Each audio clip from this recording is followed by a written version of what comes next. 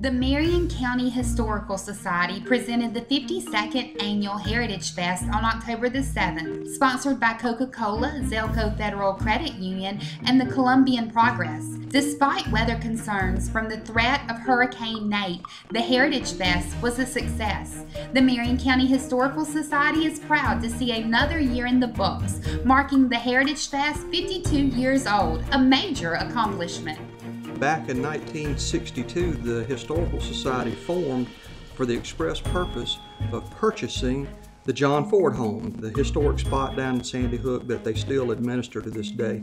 Uh, and because they had a loan that they needed to pay off, they started having what they called a frontier fair. Now, exactly where it started, I'm not sure. There were some early ones that was on the grounds of the courthouse and some early ones that were on the grounds of the Ford House itself down in Sandy Hook. But eventually it grew over the years and it ended up in the park where it's been ever since.